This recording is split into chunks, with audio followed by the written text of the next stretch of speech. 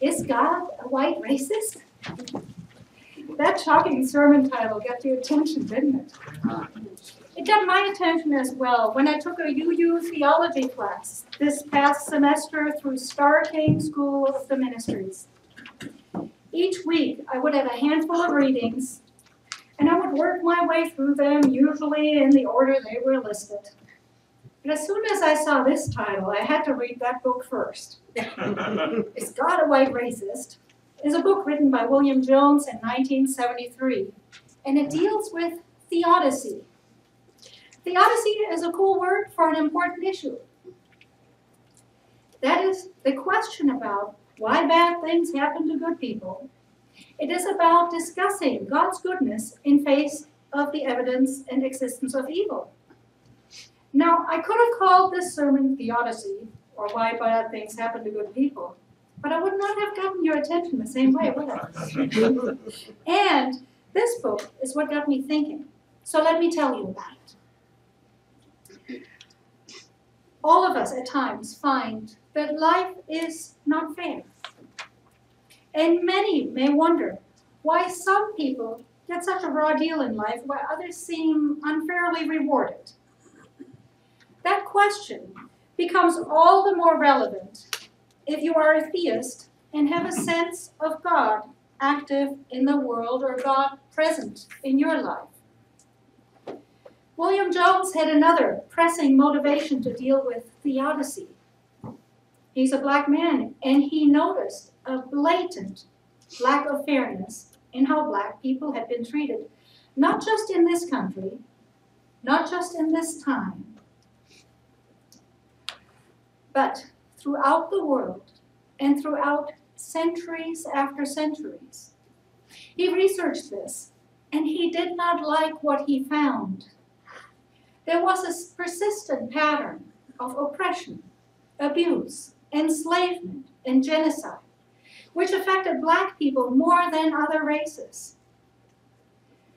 Since Jones believes in God, this caused some concern, namely the question, is God a white racist?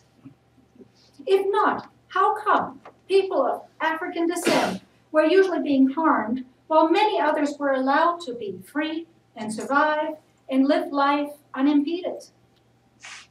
So with good reason, Jones examines the question of God being racist or not, exploring various black theologians and their views on theodicy the question of suffering. He decided that any theodicy which does not address black oppression and racism is not sufficient and missed the point. And none of the ones he reviewed addressed the issue of racism in relation to theodicy to his satisfaction. He wants to know if God is on his side. And so he explores this in detail. He bases his view of God on two main facts. One, oppression and genocide happened and continues to happen. And two, the will of God as revealed in scriptures. He concludes repeatedly God apparently thinks such things are right because they occur repeatedly and he does nothing to prevent them or avenge them. You see, there are several suppositions people tend to make about God. One is God is good, benevolent. Another is God is omnipotent, all powerful. It's tough to have both be true, though, in light of racial discrimination, abuse, and decimation of his people. so, which is it? Is God good or powerful, able to intervene in human lives? At times, Jones ponders clearly a racist God is theologically impossible where God's universal benevolence is presupposed. Having assumed God's intrinsic goodness and justice, only two alternatives remain adopt a theodicy of God's benevolence or opt for atheism. I love the courage and bluntness William Jones shows in tackling the issue with such directness. Yes, there is racism. And yes, it is reflected in scriptures of many traditions, as well as in the history of many religions. And if we look at history overall, we find that racial and ethnic minorities are more often harassed, persecuted, abused, and killed than others. If we look in particular at people of color, this becomes not only obvious, but shocking. So yes, it needs to be addressed with eyes wide open. I love this introduction to African American liberation theology, and I plan to study this further on through the years. Yet, this is obviously an issue not just limited to African American concerns. The question could just as easily be raised by Native Americans, for instance, millions of whom were killed on this continent by whites over the last few centuries. We are UUs, and we value diversity and justice. So this is our issue. There is another reason to face the question Is God a white racist? It forces us to come to terms with our theology, the kind of belief we have. Yes, there are many humanists in this congregation whose belief in humanity may well be stronger than their belief in God. And there are agnostics and atheists among us.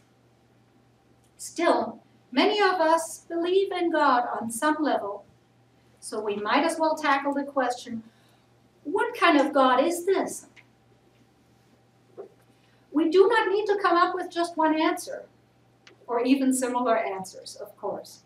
But we can encourage each other in our contemplations and explorations, and be inspired and enlightened by each other's different answers. Let me share my process and my answers as I tackle this. To really delve into theodicy, we need to ask several really basic questions. Is there a God? Is this God omnipotent, all powerful? Is this God omniscient, all knowing? Is this God omnibenevolent, all good? And in what ways does this God interfere in our lives? There are signs of evil and injustice all around us, racism being one of them. And if God is the source of all, where does evil and racism come from? Can a good God create evil?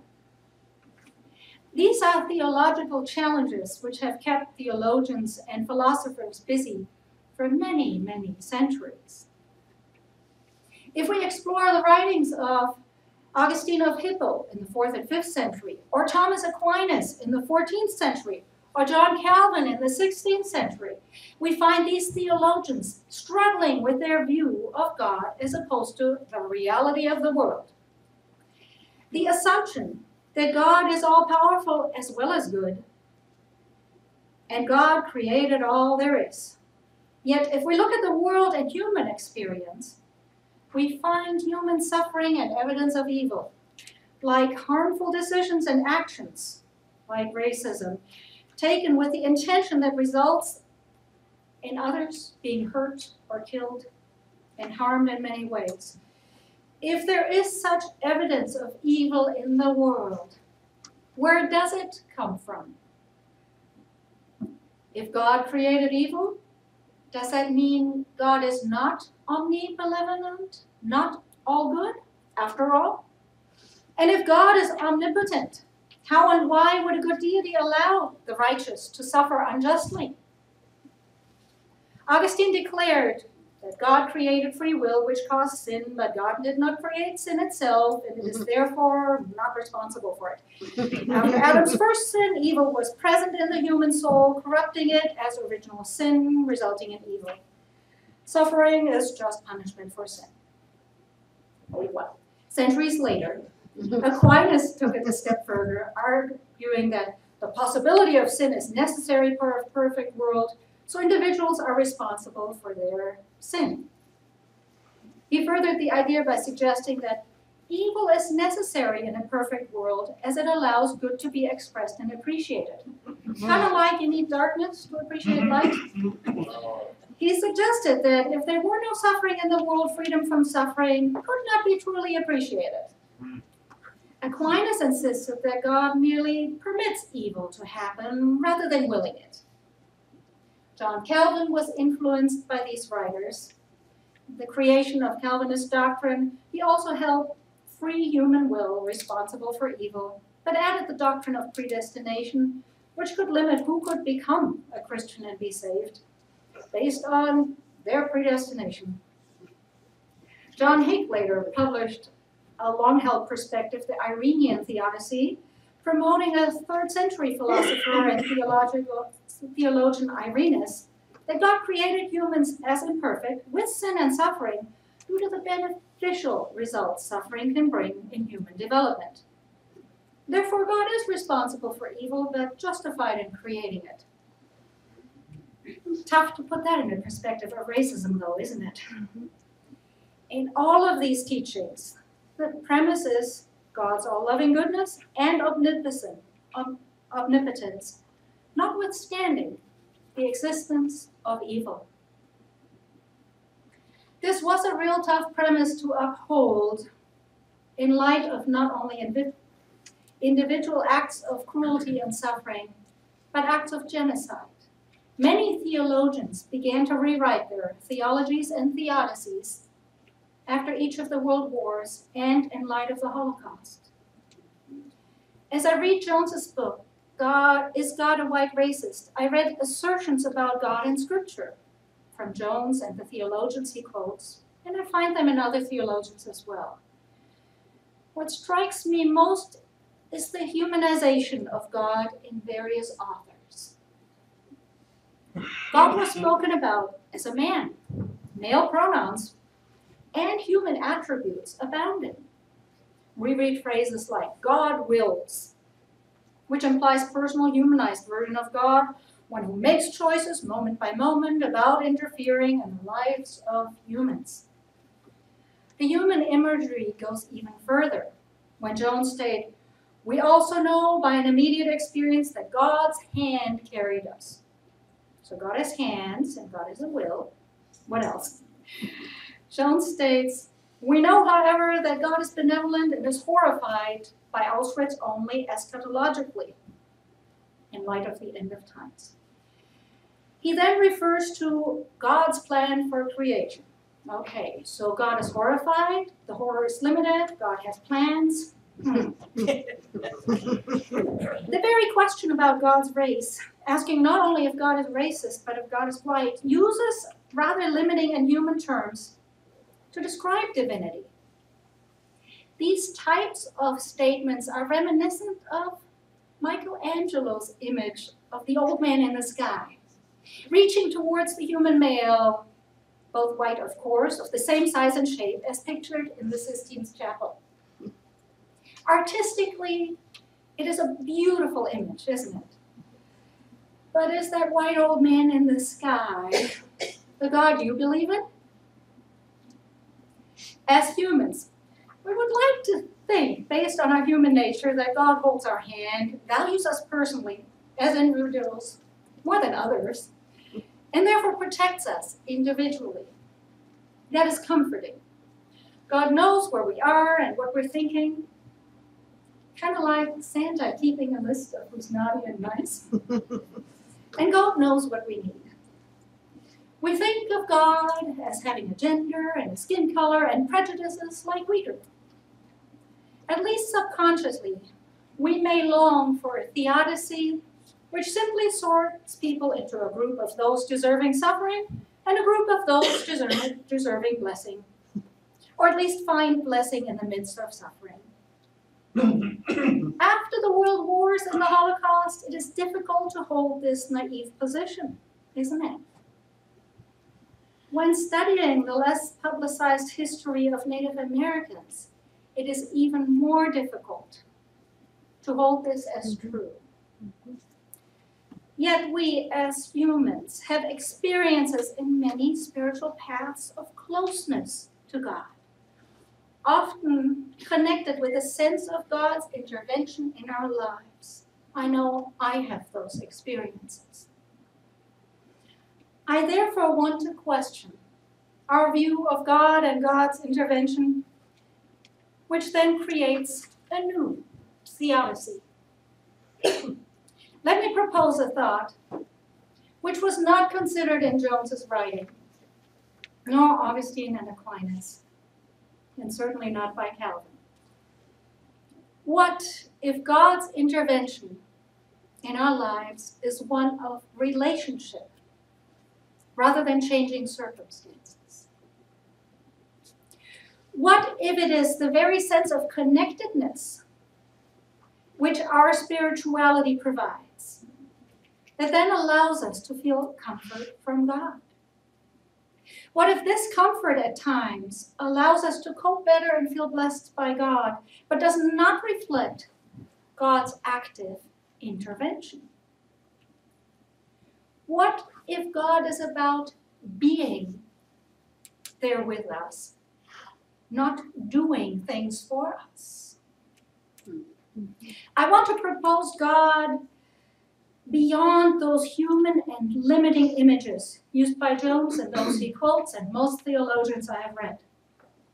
Rather than a personal God who has a will and makes decisions and judgments, what if we use the term God for something much bigger and certainly at least as divine? How about the power of creativity and love, which resides in all and connects all creation? That's a powerful phrase, isn't it? What if that is God? The power of creativity and love, which resides in all and connects all of creation. This phrase does not offend even the guidelines of the non theist humanist manifesto. This God is immensely powerful and wise and at the same time does not need to choose to connect to humans or not. It is simply there, a presence, imminently available for all humans of all races, genders, and circumstances to tap into and gain inspiration, guidance, bliss, wisdom, and strength.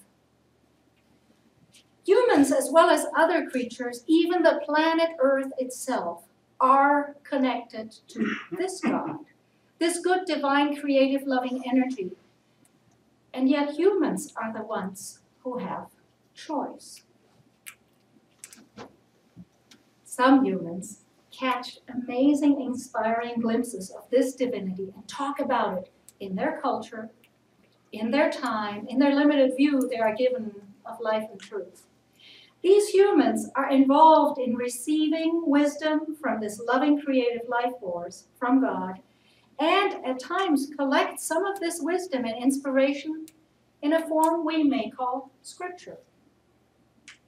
Some of the scripture will use religious language, and some will sound a lot like the Humanist Manifesto.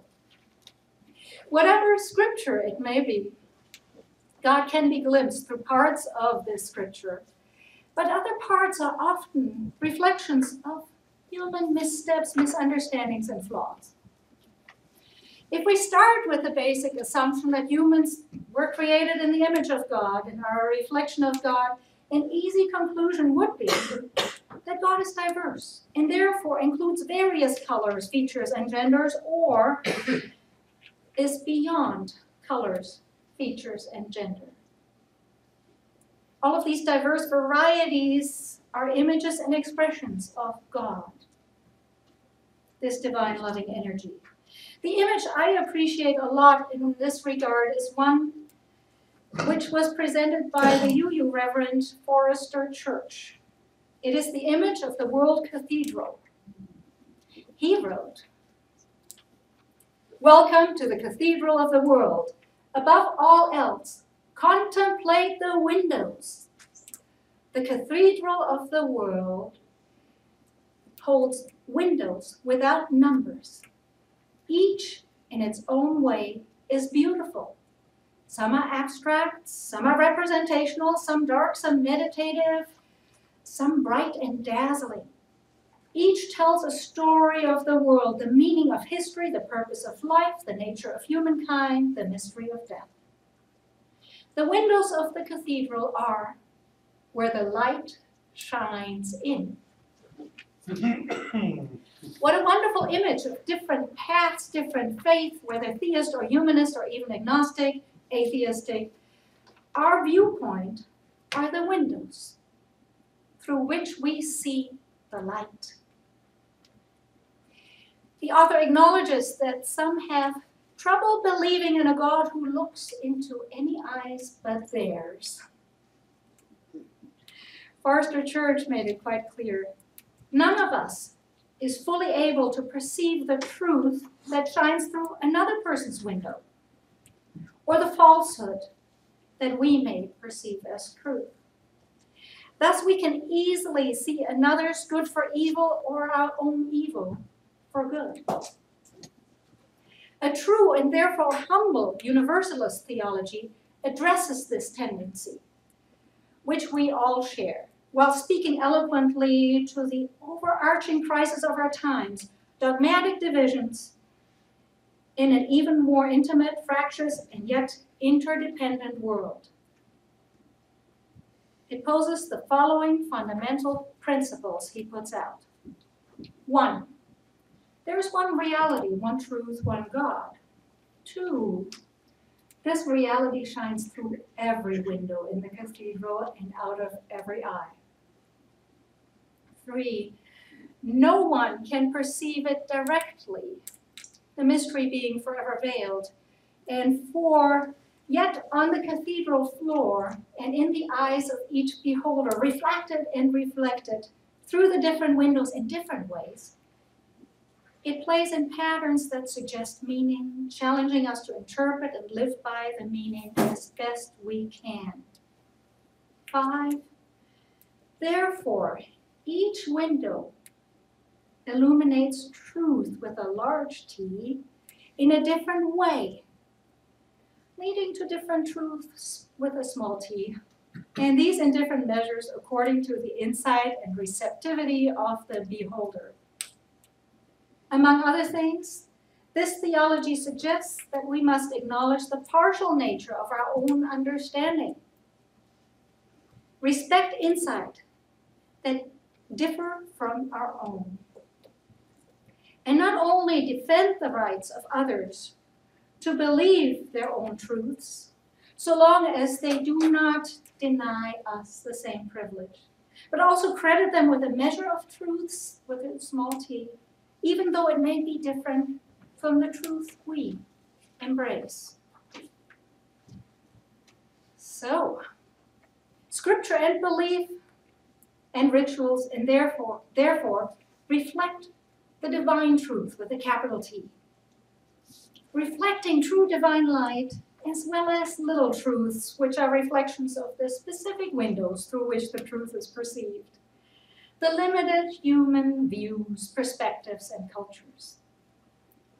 This light, this divine power of creativity and love, which resides in all and connects all of creation, shines through all faiths and is available to all hearts, perceived through our individual filters and windows of our hmm. existence. As far as theodicy goes, removing the human and personal qualities from our view of God, like choice and intention and intervention, puts the issue of God and suffering in a totally different perspective. That is where the MS ridden Catholic writer Nancy Mairs inspires me. She's a poet author writing about her life, her theology, and her struggle with her crippling multiple sclerosis, which was published by our UU Beacon Press. She states, I do not believe much in a personal God. If I did, I'd have to say God did, did this to me. Some people will say, God never gives us more than we can handle, which I think is utter shit. Because if God is doing the giving, then God routinely gives us more than we can handle. MS is one such thing. But I couldn't believe in a God who would do such a thing anyway. Hmm? Her solution to theodicy is to give up on the humanized God, to not have a personal God, but she does this without losing any of the immediacy of support God gives her on a regular basis, without losing the wisdom she gains from her faith. Rather than diminishing God, which religious humanists might see as the answer, we could also allow ourselves to have a bigger God, a God beyond human definition and description, a loving creative life force, large enough to be the source of the universe and at the same time present, accessible, and meaningful. This impersonal but amazing God energy, this power of creativity and love which resides in all and connects all creation, can be available for all of us. It is beyond human images and therefore beyond accurate description, but maybe a bit like electricity. It is so close, right in the walls, behind me, for instance. Um, but unless I plug into it, I cannot experience or feel its power. And depending what appliance I plug in, I will get different results and manifestations of that power. In my own spiritual life, closing my eyes and taking a couple of deep breaths can plug me in. Taking a hike in nature seems to plug me in every time. Repeating a meditation mantra also connects me well. Singing and chanting lets me experience this power. The divine energy is right there. I believe that it does not have an agenda for my life. It does not protect me or my loved ones from harm. It does not interfere at all. But once I connect, I can feel comfort, I can feel inspiration, I can tap into wisdom and experience a deep connection to others. It is a life changing power. It is all good, it is all powerful, yet it, that does not mean it either causes or permits evil. This God power is simply not in the permitting and intervening business. All I need to let go of in this theodicy was the personal humanized aspect of God. In my view, God is bigger than that and does not act. God just is. God is this amazing energy which can act through us if we connect to it and let it affect our being. So is God a white racist? Certainly not. There are plenty of people who are white racists, but God is way beyond whiteness or racial prejudice. As unfair and horrible things occur in the world, let's not blame God for causing them, interfering unfairly or unjustly refusing to interfere to stop them. Let us tune into the divine wisdom and comfort which is available to each of us in each moment, even here, even now, and let that inspire us to intervene ourselves, to stop racism, and to work for justice. Amen. So be it.